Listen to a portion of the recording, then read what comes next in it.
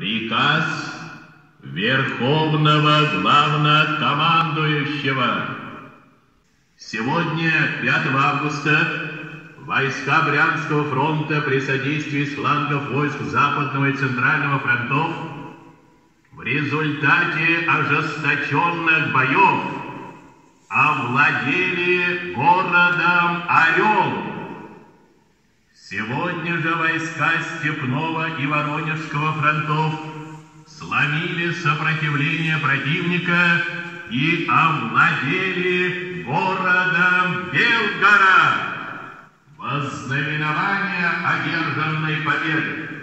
5-й, 129-й, 380-й стрелковым дивизиям, ворвавшимся первыми в город Орел и освободившим его, присвоить наименование Орловских.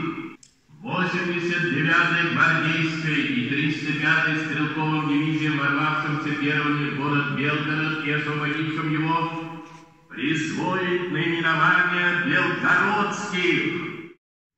Сегодня, 5 августа, в 24 часа, столица нашей Родины Москва будет салютовать нашим доблестным войскам, освободившим Орел и Белгород, 12 артиллерийскими залпами и 120 орудий.